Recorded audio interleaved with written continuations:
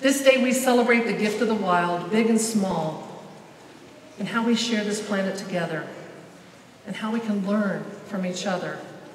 And so let us continue in this celebration.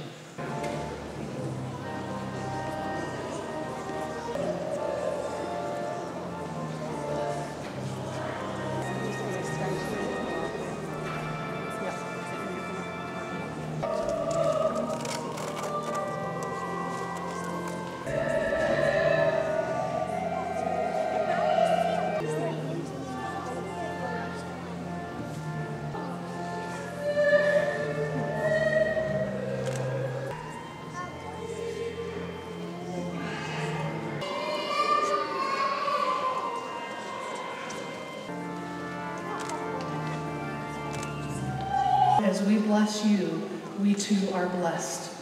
Amen.